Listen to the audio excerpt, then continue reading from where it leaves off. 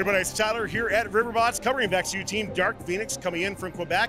Uh, a lot of history here uh, with Dark Fenix as they look into their first year of VexU, but they've been building a phenomenal robot here. Their skills is absolutely insane with how quick they are and stuff. And we'll be covering why that is. This 1,000 RPM single hook intake uh, that they have is really, really cool. We're talking about the choice to go with claws. You'll notice no Lady Brown mechanism on this, but wow, are they fast nonetheless. Talking about some of the future changes they're looking at making, how they got to where they are, all this and more coming up on Pits and Parts. This video on fun is brought to you by viewers like you and also in partnership with the following. The Robotics Education and Competition Foundation provides fantastic programs for students from elementary school all the way through college. These include VEX, aerial drone competition, online challenges, JROTC, girl powered, scholarships, certifications, and so much more. To discover these exciting opportunities, visit recf.org and get connected. So, Matt, we mentioned in this here that your team has not gone uh, with the Lady Brown route, which I'm a big fan of seeing the non typical meta designs on it. So, talk to me about what route your team went and how it's working out for you. Yeah, of course. So, basically, the thing that we dislike about Lady Brown is the fact that everyone goes with that this year. So, as you can see, the robot is not looking at all as a, like a Lady Brown. So, we are running a single hook robot. So, basically, how it works is based, we just have a ring here and we just have a single revolution of the hook to score on the uh, mobile goal. The idea behind that is to make sure that first we don't have the issue with like grabbing the wrong color uh, of rings, and also it's making sure that we are able to be even faster than most intake because we don't have the transition to do between the front stage and the hook intake, for example.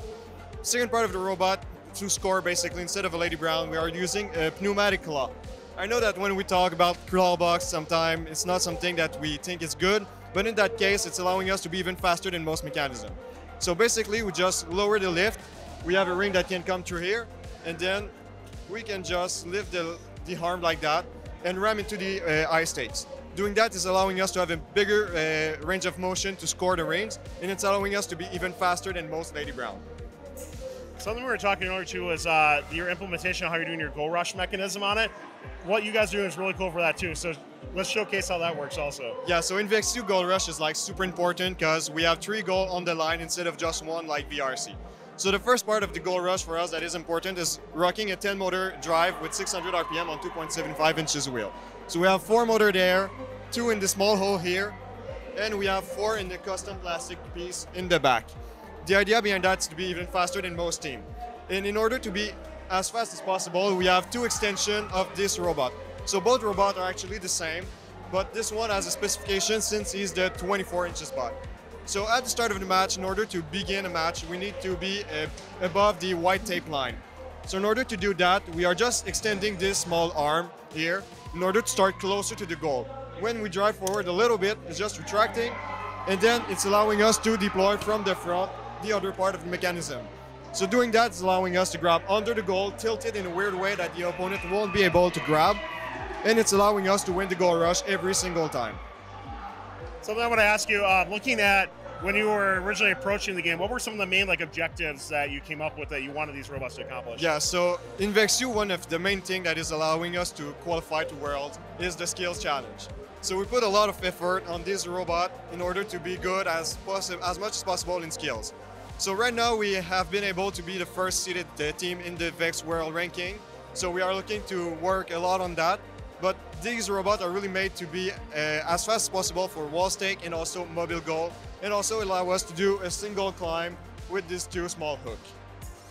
David, we talked about, you know, with the uh, way you're doing your goal rush, kind of skirting some of the VexU rules and how it works up to. I'd love to hear more about how your team approached, you know, coming from, you know, a V5RC background into VexU. How are you uh, creating the robot to fit within the VexU constraints and what the game is? Yeah, so because we are some teams of, some old teams of the VRC, um, we started the design process with a robot that uh, is some 100% legally in VRC high school and middle school.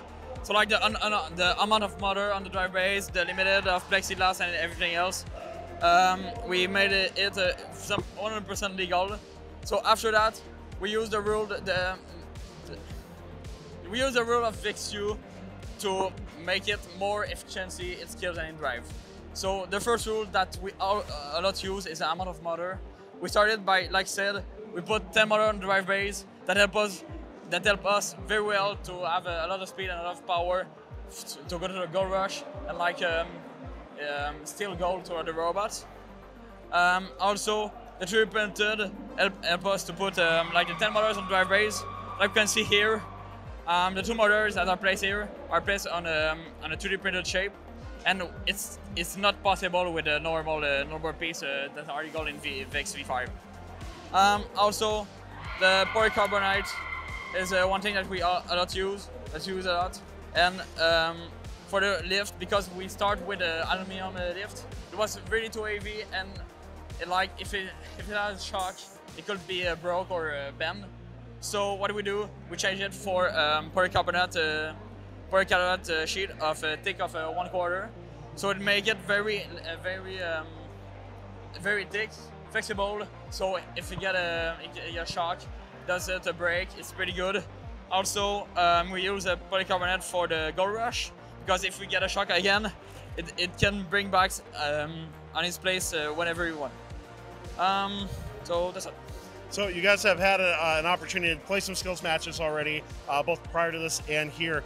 Uh, I want to talk to you a little bit about uh, the competition itself too. What are you looking forward to here at Riverbots? Uh, what are some of the other teams that are standing out to you, and how do you think you're going to fare against them in the uh, competition standpoint? Um, like I think we can win. like I think we can get the advantage a lot because of the amount of mother and because we are not like the other team. A, a lot of the other team, like the, with the Lady Brown, like said, um, it has it's pretty serious, but if we have a lot of practice with the with the clamp with the claw, it's pretty it's pretty much uh, more fast than the than the brown, it helps us very well to go do wall stakes just before the end and climb after that. Does it does that change your match strategy all coming from skills in, or are you just pretty much all offense all the time anyways? Uh, we're pretty much uh, offense every time, but if it is for a corner like a positive or a negative corner, where a lot of defense, um, that's why we put a 10 motor on drive rate. Makes sense.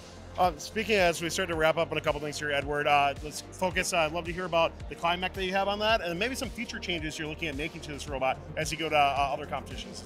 Yeah, um, for now, so we're on the low hang, but uh, later we would like to introduce like a, a bigger mechanism, like redesigning, uh, redesigning a robot so that we can do a high hang or a top ring uh, that would uh, really advantage us uh, in match and also skills. Because right now we're doing a pretty good score on skills. we could get more points by climbing higher or doing like in VEX-U you can climb a robot like um, on the other so that you make more points. So we would like to uh, go with that. So um, uh, we've we've gone through a lot of uh, design process, but um, for now, like it's a little too early in the season to like climb high. Uh, it's not safe. It's not like, and it's not like it's it's uh, important for now.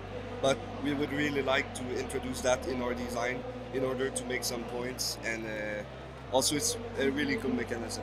Well, and we've seen a couple of our tier three hangs in VEX-U or like a kudos or something yeah. like that, but they're sacrificing a lot to do something like yeah, that. Exactly. Like they're pretty much playing pure defense during the yeah, match. that's so. why we didn't go with a a, a high clan because now like um, we thought of, we thought of uh, a lot of um, uh, hanging mechanism, but the thing is that we need like a whole side of the robot to climb that high, and it just didn't fit our uh, our needs for now. But we would like to uh, to, to go with that later, and that's why we uh, we wait uh, to see like how the season progress. Well, Dark Fenix, thank you so much for taking time to us more about it. I love seeing the creativity in VEX-U robots, and you definitely do not disappoint in that front. So we can't wait to see how you do. Obviously, incredible skill scores you've been doing so far. So good luck uh, as you continue with that, and of course here at the competition and throughout the rest of the season. Thanks a lot, guys. This video on fun is brought to you by viewers like you and also in partnership with the following. The Robotics Education and Competition Foundation provides fantastic programs for students from elementary school all the way through college. These include VEX, aerial drone competition, online challenges, JROTC, girl powered, scholarships, certifications, and so much more. To discover these exciting opportunities, visit recf.org and get connected.